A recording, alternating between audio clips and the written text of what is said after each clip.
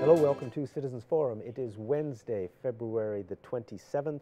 I'd like to start by thanking our volunteer crew and the Shaw staff that makes this show possible every couple of weeks. My first guest is Mazin Al Nahawi. I guess we're going to be talking about uh, what's going on in the world. Um, Mainly in Venezuela, maybe let's start with Venezuela. I mean, it, to me, it's just a disgrace the way the story is being presented by our media because Canadians are being given one story, which is the, to me, it's the corporate story, and nothing else is allowed. So it's so one-sided, and people believe it. I think.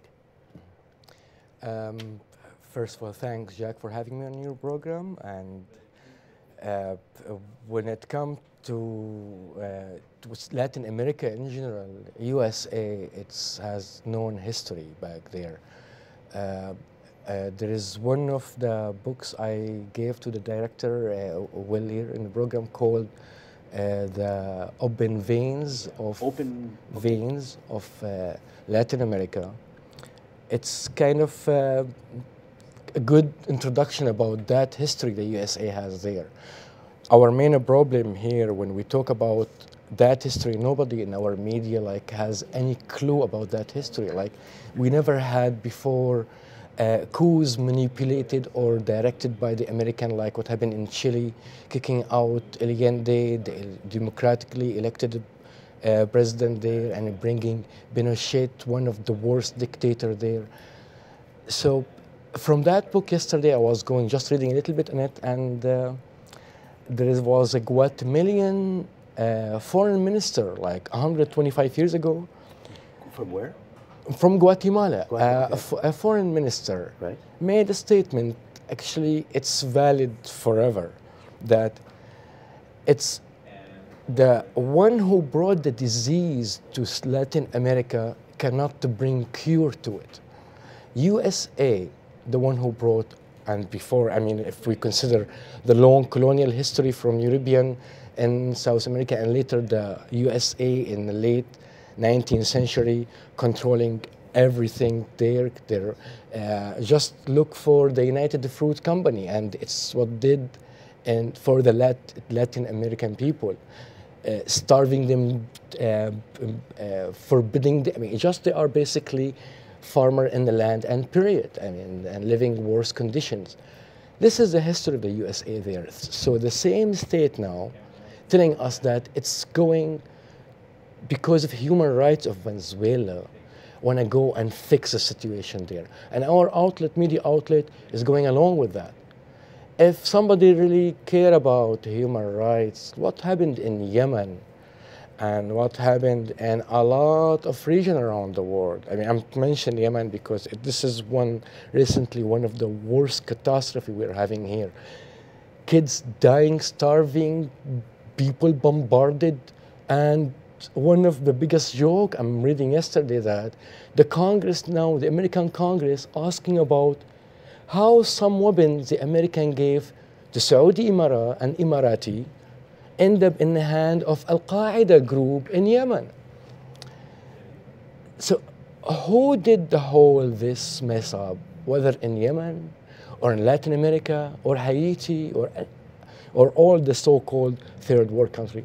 USA had hand in And when- everything.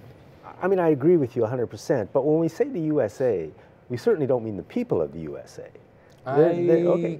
I don't. of disagree Okay, a little okay. bit. Let me have my piece. of- I don't mean the people of the United States. I mean the people who run and control the United States.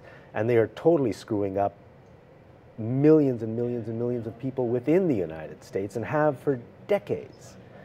They don't care any more about the American people than they care about the people anywhere else. That's the, the ruling class. Uh, Now, I have no doubt that the American people are themselves are victim of their media and state and the, the 24-hour manipulation of the news and falsifying everything, making the victim criminal and a criminal victim. But in the end, these are the, the who pay tax and vote for officials to be in office. Who voted for Trump? It's not the people from Venezuela or China, the American people. And they maybe, I mean, yeah, they have their own struggle there, but you know, USA has a long history of aggression. They started by stealing the land basically from the native, then uh, their slavery, taking after that going over to Cuba and Philippines, Hawaii, become imperial power, want everybody buy their American product first. So I think people know should boycott the American product. I when I go to market, I look if it's the USA, I would never buy it. I'm not going to pay a penny for a state go bomb people in Yemen and bring lies about Venezuela and bombarded Hawaii with the Marines when they have earthquake and keep these lies. I mean, I mean, why do I need to buy from a state like that? But again, uh, we have our outlet media here. I don't really blame them. They, their job is not to provide actual journalism. They are business. Bell Media, it's about mobile phone and other businesses. I mean, there is a big monopoly in everything. These businesses are connected very well in the USA. I said it before. It's like two butts in one underwear. One of them masculine, the American one, and one of them feminine. I don't know. But this is what the USA and Canada, when you're talking about relationship between Canada and USA and connection between business. This, our problem with these businesses controlling our media outlet, controlling our officials. So in the end, I don't really see a difference between Trudeau or, or Trump. Both of them are lawyers. One of them, obvious, actually, I prefer Trump. Trump, you can see it immediately. He is a racist, disgusting human being. But Trudeau is a lawyer and presenting you the, the pretty face, walking with the gays, marching while signing up pipelines, lying. And Just ask native people about Trudeau first thing they tell you, he is a liar. And he promised many things, reconciliation, and this is the hypocrisy here. Considering the colonial settler history in Canada and what is Canada continue to do in South America now, there is a connection. Yeah, the here. whole thing, I mean, to me, the whole thing is a farce. You know, the world that most of us think we live in is not, is not the real world. I mean, in terms of, of just what we're told and the way we're treated. You know, we're told we're a democracy, you know. I just, I mean, we're not a democracy, folks. Uh, we're told we have a free press. We don't have a free press. The media is completely controlled by the 1% of the 1%. Uh, I'm a member of the NDP, but I would never vote for them. I mean, because the leadership of the party has nothing to do with the they don't care. They're, they're career politicians.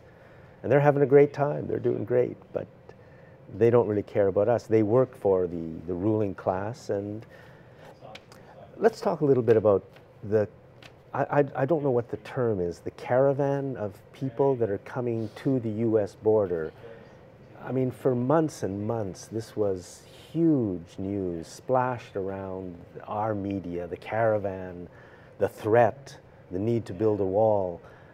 But these are people who, in large part, have been destroyed, their lives and nations have been destroyed by the lunatics who run the United States. And now, as they try to flee to, to save their lives, they're once again turned into the enemy by these same people. And we believe it. And I don't blame people for believing it because I believed it for many, many, many, many, many years.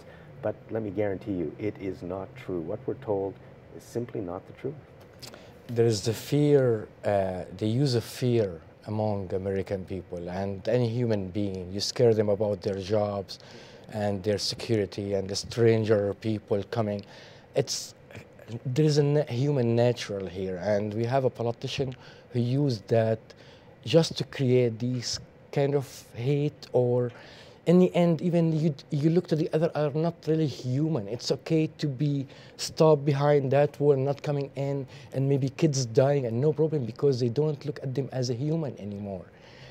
This is what going on in the USA. USA, it's again was stolen from its people, and now nobody can come there except if you are coming from Britain or Ukraine or you have a European accent. This is always this racist history in USA has existed. But when talking about Honduras, and similarly to Venezuela, Honduras. uh, Honduras, one thing before going to Honduras, Venezuela, the root cause for what's happening, Venezuela main main product, main living source is oil. USA in agreement with Saudi Arabia in Obama time, they tried to flood the market with oil to attack states like Venezuela, Iran, Russia, and By that bringing the price down. exactly. So second, add to that the sanction added to Venezuela. And it's very interesting. They brought the price down, but we're still paying the same amount for the gas, which is, you know, And- very interesting. Uh, not mentioning the long history of the intervention from Chavez time. USA tried to make coups, tried to assassinate him. But anyway, from Obama, late in, in second term, he started to work, and maybe, I don't know, uh, sorry about saying second term. In Obama time, before Donald Trump, he started the whole issue of sanction and the oil issue against Venezuela, which created later what we have now. And then the U, so the USA behind what's happening now in So Venezuela. what's happening now is and not the only same, is, I mean, a lot of it has been caused by the, the food shortages and everything else. Did the United States cause the food shortage? exactly, that's what I'm saying here. Why that happened? Because sanctions add to that the, the whole manipulation of flooding the market of oil just to bring down states like Venezuela, Iran, and Russia take some uh, money out of their uh, bucket. But Honduras, another copy. First thing Obama did in office when it comes to foreign policy was the coup in Honduras. Know? We had a democratically elected president there, and this is the same story happening again and again and again. Musaddaq in Iran, Beno and uh, in, uh, in Chile, Patrice Lumumba in Africa.